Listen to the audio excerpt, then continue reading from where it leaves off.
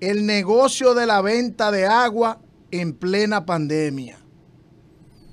La venta de agua potable se ha constituido en un negocio lucrativo en plena pandemia del COVID-19. En los sectores populosos del Gran Santo Domingo y parte del Distrito Nacional están con el grito al cielo, sedientos por el preciado líquido.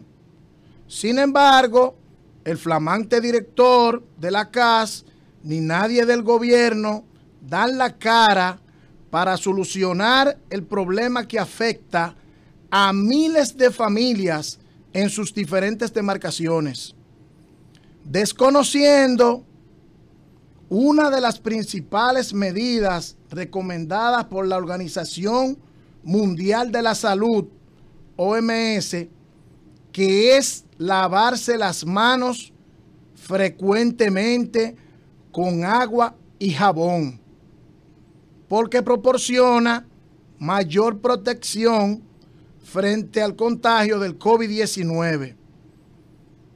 Pero señores, las compañías que venden agua están haciendo su agosto. 1.500 y 2.000 pesos dependiendo el camión.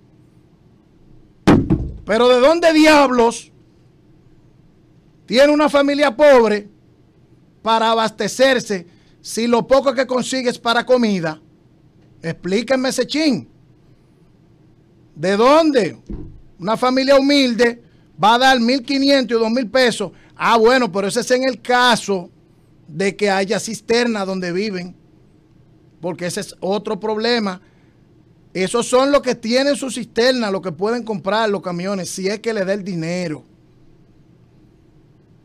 Y finalizo este comentario con la siguiente frase. Cada pueblo tiene el gobierno que se merece. Vamos a la pausa, Francisco.